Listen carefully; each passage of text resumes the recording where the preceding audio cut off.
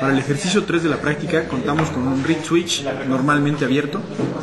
Nos, va- vamos a realizar el ejercicio número 3 que consiste en una resistencia de 220 ohms, un reed switch, un LED.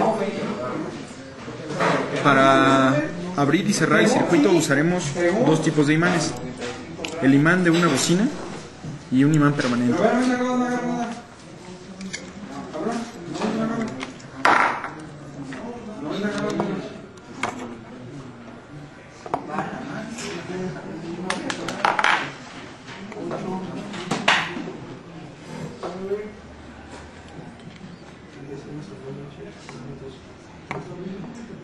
Como se observa, la distancia es muy pequeña.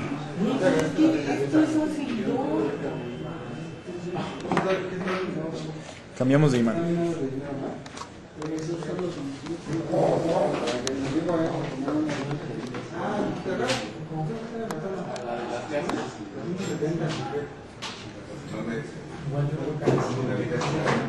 Nos fijamos que el switch no cierra a las mismas distancias siempre y que estas distancias varían con el ángulo.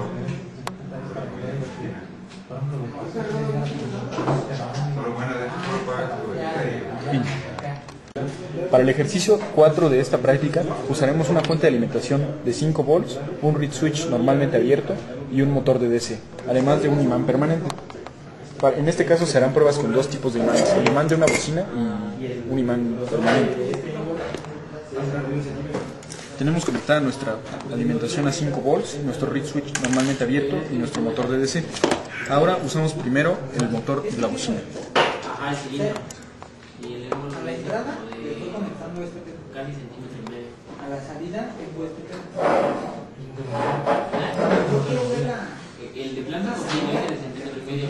Hacemos ahora las pruebas con el otro imán. no me lo movía. la entrada, por lo tanto a la entrada no me... Y es que como hay vapor, debe de. de Como se observa, la distancia de la distancia es mayor entre este imán y el reed switch para cerrar el circuito.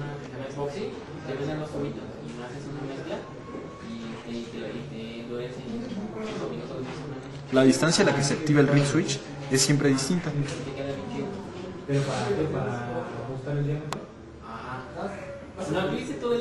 Aún variando los ángulos, las distancias también varían.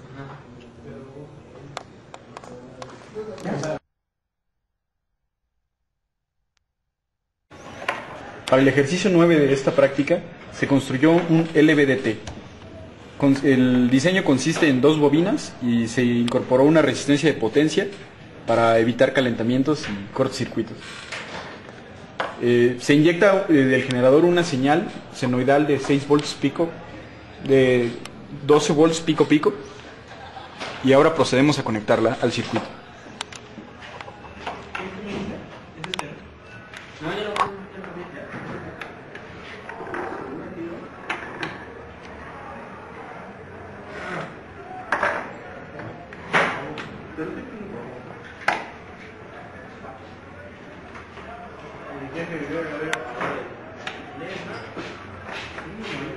的。嗯，对了，才会。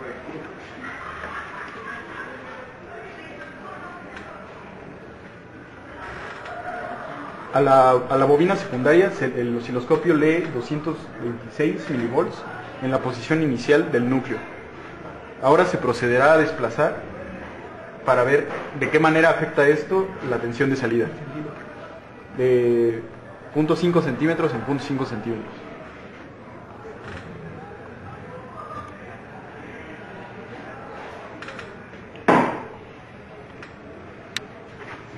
Después de haberse desplazado 0.5 centímetros, la lectura del osciloscopio es 332 milivolts. 332 milivolts.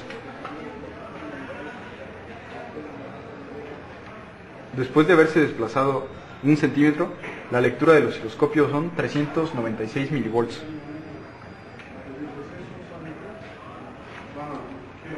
Con un desplazamiento lineal de 1.5 centímetros, la lectura por el osciloscopio son 450 milivolts aproximadamente. A 2 centímetros asociamos una tensión pico-pico de 480 milivolts.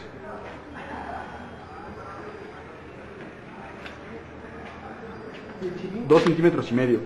La tensión es de 500 milivolts, pico pico aproximadamente.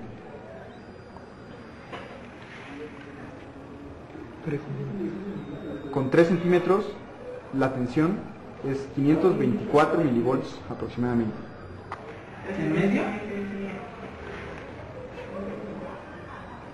Para 3 centímetros y medio, nuestra tensión de salida es 540 milivolts.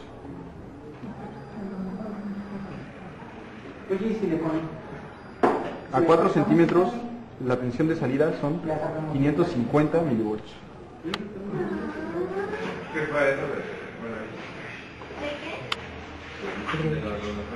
Con 4 y medio, nuestra tensión de... Como se puede observar, la variación es, es más lineal y tiene una mayor sensibilidad en el intervalo de 0 a 4 centímetros de, desplaz- de desplazamiento lineal. Después de esta distancia, el desplazamiento empieza a comportarse, la tensión empieza a comportarse de manera no lineal.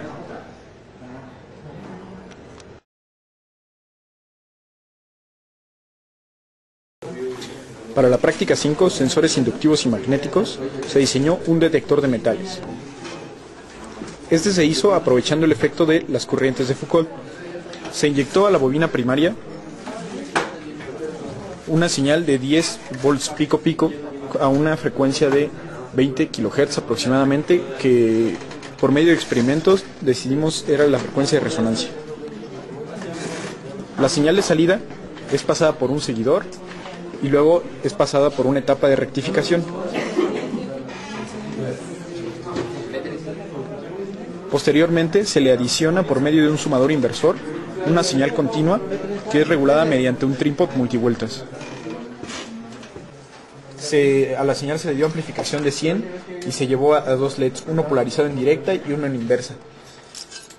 Cuando nosotros acercamos un metal ferromagnético, el LED, el LED rojo encenderá.